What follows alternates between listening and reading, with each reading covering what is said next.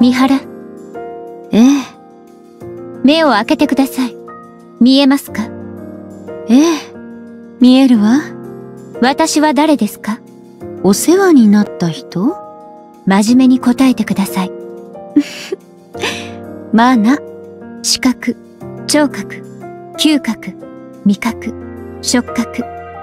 すべて正常ですか？ええ。問題ないわ。大丈夫そうですねでは降りてください。チョーカーの搭載とボディの交換が完了しました。あら。なんとなく違和感があったのはチョーカーのせいじゃなくてボディを交換したからなのね。でもどうして急に？主演からの要請です。もう使うことはないだろうからくれてやれともう使うことはない？そのボディはあなたたちが最初の任務を無事に完遂後交換するために制作されたものです。主演があなたたちと広報用の写真を撮影後もっと強く見せたいと。プロジェクトワードレスの発表時にこのボディを使う予定だったそうです。でも私たちはトーカティブの捕獲に失敗したそのせいで発表できなくなったから使い道がなかったのね。はい。遅くなっちゃったけど大切に使うわ。主演にもお礼を伝えて。はい。わかりました。最後にあなたのチョーカーもユニのものと同様に一定期間ごとに更新しなければなりません。必ずユニと一緒に戻り更新を行ってください。あなたの要望通りどちらか一人でも期限に間に合わなければ二人一緒に爆発します。首元に爆弾を抱えた人生なんてスリルがあって面白そうね。冗談よ。必ず遅れないようにするわ。ユニと一緒に長生きして。あの子の罪を償わないとね。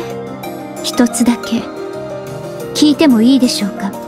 ええ。どうしてそこまでするのですか？以前からあなたたちの絆を感じてはいましたが。それでも今回のことは理解不能ですね。このチョーカーのこと？はい。一方が爆発したらもう一方も一緒に爆発させてほしいなど理解できません。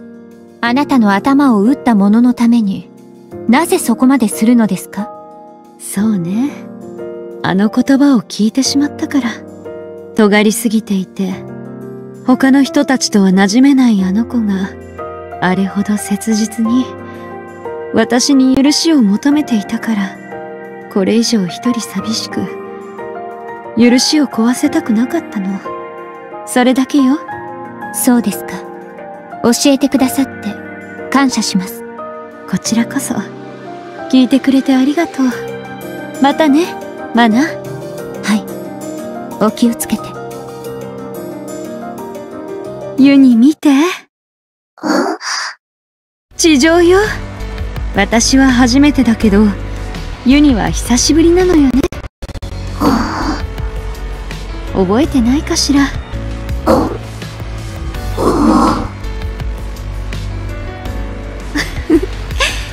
あまり覚えてないのね。